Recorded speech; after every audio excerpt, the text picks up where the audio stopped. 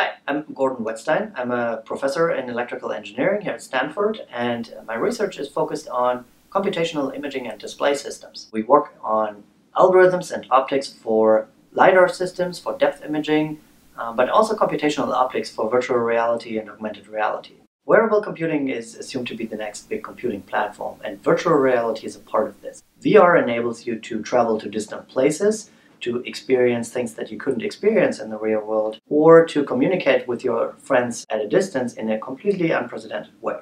With EE267, we created a class that teaches the technology behind virtual reality. In the first few weeks, we learn about computer graphics and rendering.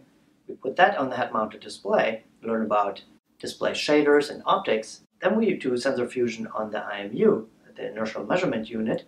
And finally, we look at spatial audio and positional tracking as well. The goal of the class is to build a head-mounted display from scratch. And using the techniques that we learn, including computer graphics, inertial sensing, and so on, uh, we're going to do a week-by-week -week project that ends up being the head-mounted display that we built from scratch throughout the quarter. Students learn the basics of computer graphics, and that includes rendering and computing images stereoscopically for a head-mounted display. They learn about the optics in head-mounted displays. They learn about inertial tracking, so that gyroscopes, accelerometers, magnetometers, and other sensors that allow us to track the user's orientation and position. And we also learn about positional audio. This class is really for students who've taken the basics of signal processing already. EE 103 would be a great class to take.